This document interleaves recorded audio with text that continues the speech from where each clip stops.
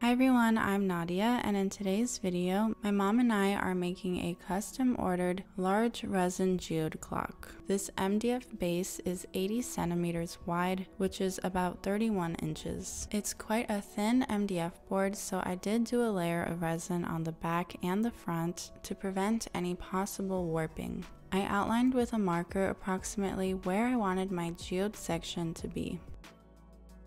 Then I used a bunch of cups to prop it up and used a level to make sure that the surface is leveled. And this is a very important step that you'll want to keep in mind when working with resin. In this video, we'll be using Resin Pro's Art Pro Deluxe resin, which is a high viscosity resin, and that makes it perfect to create geode art. I'll have a discount code linked in my description, so be sure to check that out. I mix in the part A and B resin together and mix well for several minutes. Then I start to separate it into smaller cups to add in my pigments.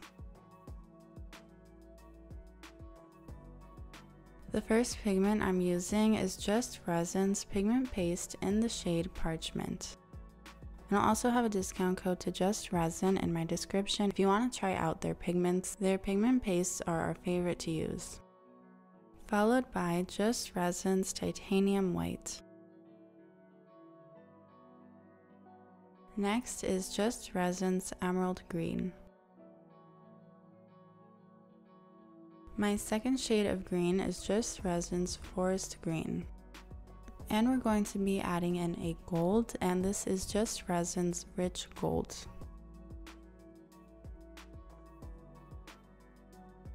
And just a smidge of black as well. I make sure that all the pigments are mixed in well into each cup of resin.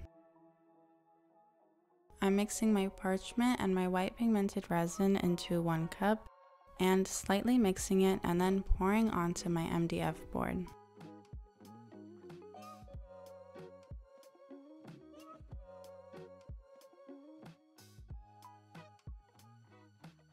I did realize that it took quite a long time to mix in each pigment, and another issue is that I'm working in an attic during the summer and in Croatia, which has been getting some pretty decent heat waves, so this attic is heating up really fast. And this causes my resin to heat up even faster, so I really needed to be quicker with it. I use a heat gun to help spread out the resin. Because this is such a large surface to work on, it is taking me a decent amount of time and it's also my first large project like this so I am being extra careful. So for my second layer, I bring in my mom in to help so that I can mix in the pigments faster and work with the resin faster since we are working in a fairly hot area. After I have my center done, I start to pour my black and green pigmented resins. I mixed in white into one of the greens and it came out a lot brighter than I anticipated. So I am going to use this layer more as another base layer and an outline for the colors and we'll be working over mainly this green part the next day with my mom so we can work with the resin faster. Again, I'm using a heat gun to help spread out the resin.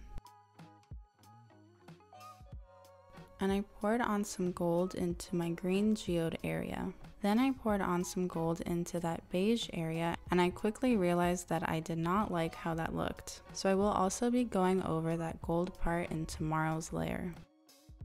I come back the next day and mix in my Art Pro Deluxe resin once more. And as I mentioned, this time my mom is here to help me work with the resin a bit faster.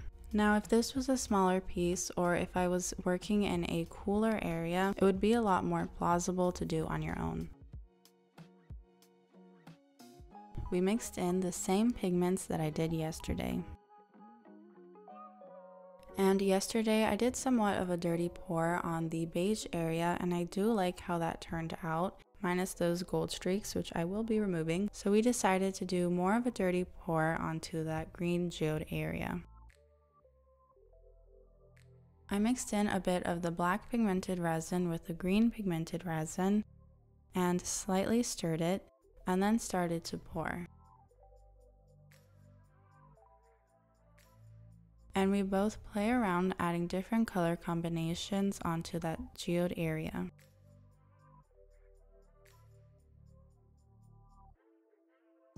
And my mom has the great idea of adding in Just Resin's pigment paste in the shade Sage, which is a lighter color for contrast. I leave the greens be for a little bit and decide to cover those gold streaks that I didn't like on the beige area.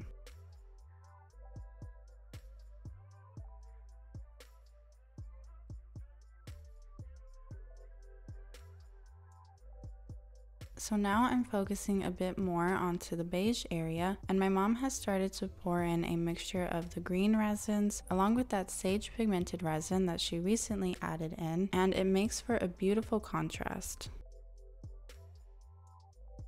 And from here we just continue pouring until we run out of time.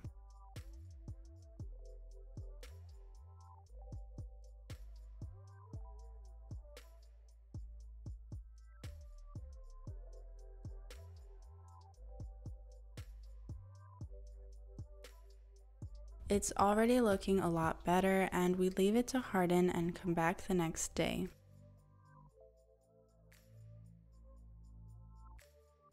When we come back the next day, we mix in our resin once more, and this is again the Art Pro Deluxe, and we're going to be focusing on mainly filling in those blank areas. As yesterday, as I was working on the beige part of the clock, those areas remained to be bulging out, so we're going to be evening everything out, leaving it with a flat surface. We use a silicone makeup brush and a heat gun to make sure that we have a perfect finish.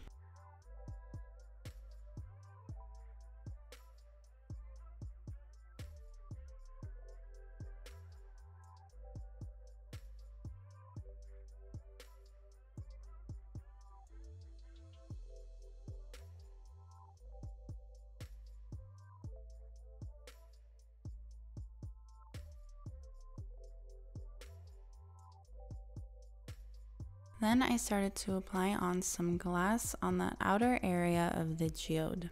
To make the application easy, I'm pouring the glass pieces from the bottle into the cap and using the cap to add on the glass pieces to the clock.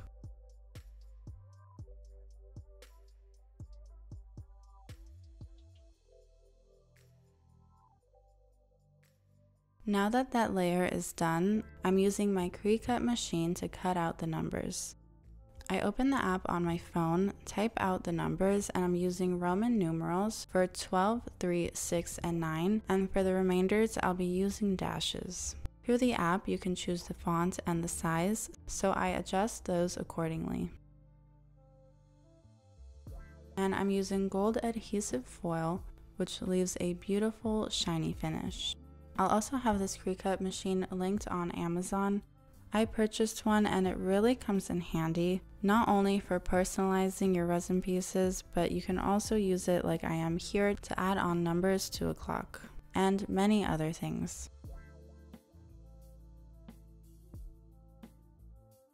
I peel away the excess gold foil.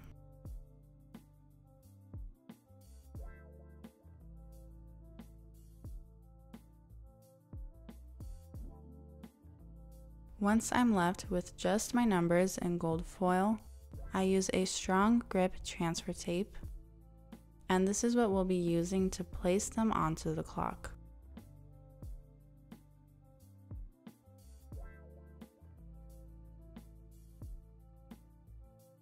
Now this part was a huge learning experience for us. This is our first time working on a clock this large and next time we'll definitely be getting a clock number template to make this part super easy. And this will really simplify this process because this took us a lot of time to measure out exactly where each number needs to go. So I am going to skip through this part a bit because we do not recommend doing it this way. Definitely get yourself a template, but once we had all of our placements marked, we could remove the paper from the bottom side and stick them into place.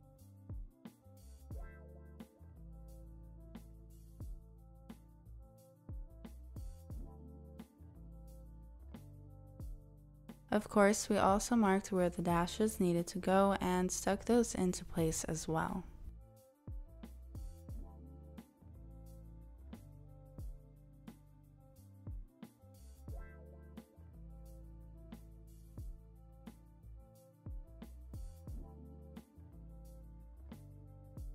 Now that that part is finally done, we're mixing in our resin once more to add the top coat and seal everything into place.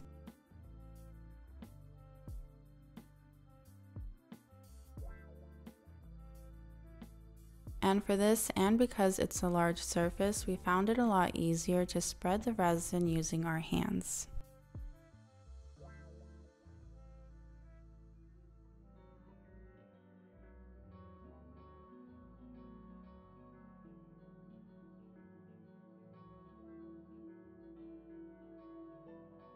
We're also being careful to make sure that the edges of the clock are covered as well.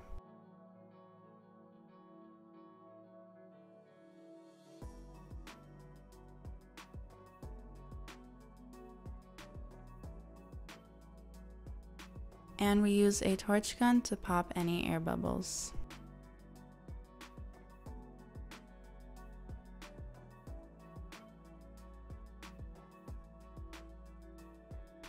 The bottom of the clock was protected by liquid latex, which catches any resin drops that flow over, and in this case we had a lot of resin drops. So once we're done with our pouring, I was able to remove those drops by removing the liquid latex.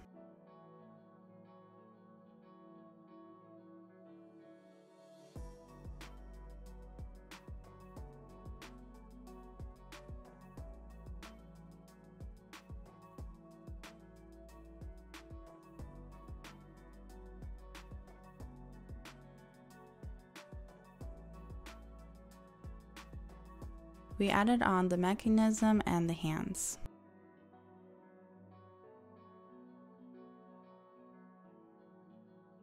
And here's the final product.